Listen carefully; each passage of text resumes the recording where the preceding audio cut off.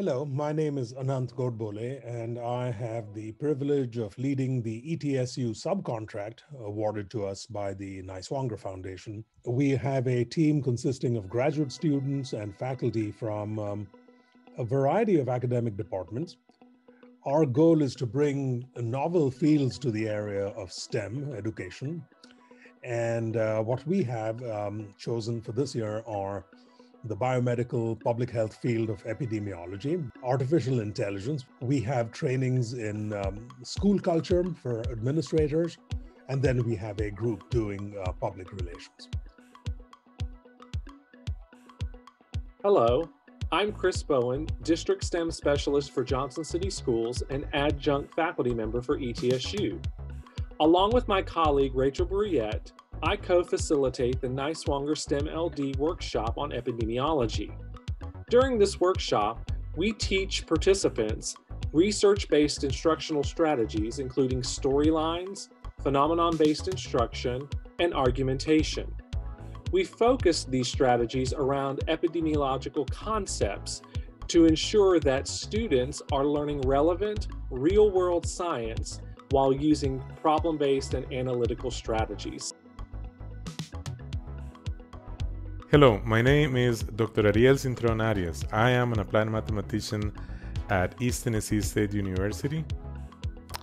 And I'm going to debrief you about our initiative, Artificial Intelligence Ambassadors of Northeast Tennessee. AI can be defined as a discipline that involves creating computational tools for making predictions and decisions.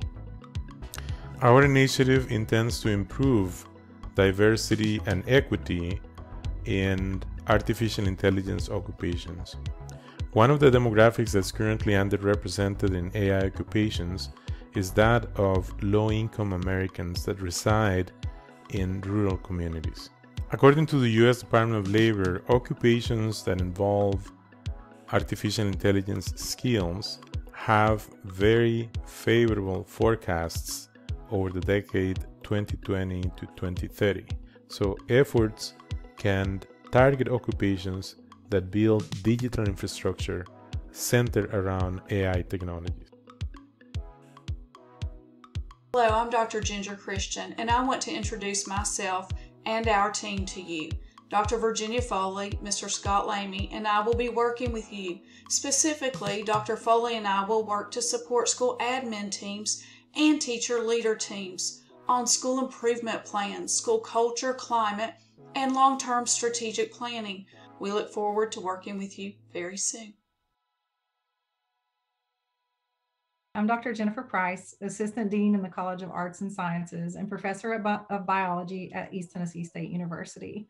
We're here to introduce ourselves as the Public Relations and Community Outreach Team for the Niswonger Grant. My name is Ellie, and I am a graduate assistant. I'm thrilled to be a part of this program and to provide support in any way that I can. Thanks, Ellie. I'm Dr. Megan Quinn, and I'm an associate professor in the Department of Biostatistics and Epidemiology in the College of Public Health at ETSU.